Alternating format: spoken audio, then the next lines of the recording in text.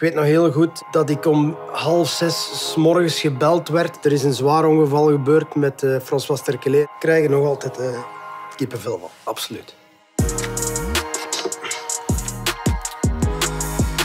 Mijn naam is eh, Wesley Sonk, ik ben 43 jaar. Ik ben geboren en getogen in Ninove. Ik speelde als prof voor, moet ik al eens nadenken, RWD Molenbeek, Germinal Ekeren, Germinal Beerschot, Racing Genk, Ajax, München Gladbach, Club Brugge, Lierse en Waasland Beveren. Ik ben ook 55 keer international geweest voor België en daarin scoorde ik 24 keer. In 2001 mocht ik de gouden schoen op mijn naam schrijven en toen ik klein was, was mijn idool Michael Jordan. En voor mij is voetbal Mm, voetbal is eigenlijk mijn leven, is mijn alles, maar is ook het mooiste wat zij mij afgepakt hebben op mijn 35-jarige leeftijd toen ze zeiden: Het is gedaan.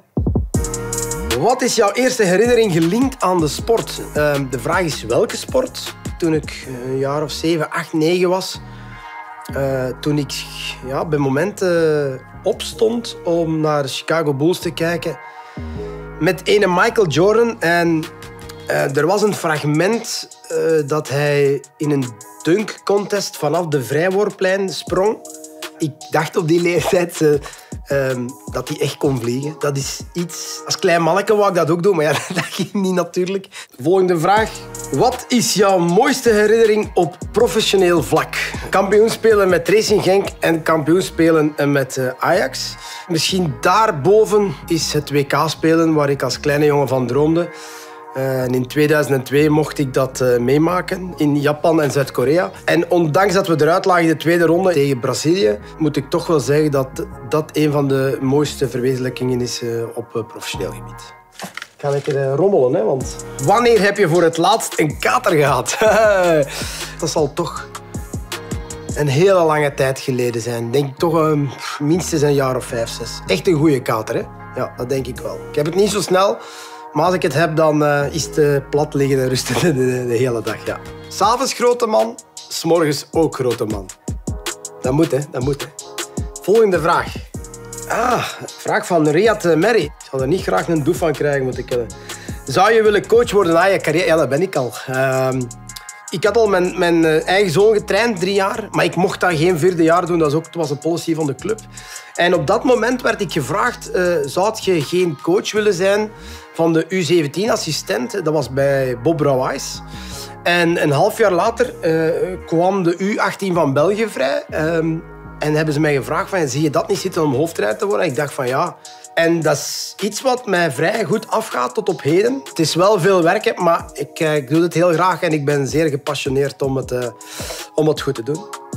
Wat is jouw naarste herinnering op professioneel vlak? Wel, de meest nare herinnering die ik ooit gehad heb, is natuurlijk de dood van François Sterkelet, uh, mijn ploeggenoot bij Club Brugge. Onwezenlijk.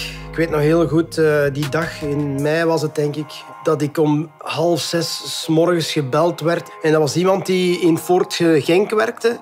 Die stuurde me dan een bericht van je moet dringend kijken op teletext, want er is een zwaar ongeval gebeurd met uh, François Terkelet. En dat was uh, ja, het, het, meest vreemde dat ik ehm, meegemaakt heb, omdat de, de dag voordien op training en samen lunchen nog, dat we elkaar, naast elkaar zitten of recht over elkaar.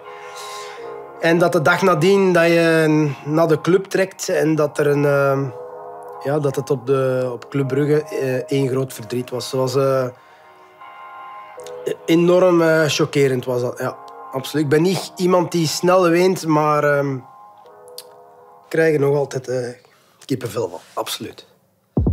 Janice Kaiman, Red Flame. Wat is het volgende puntje op je bucketlist?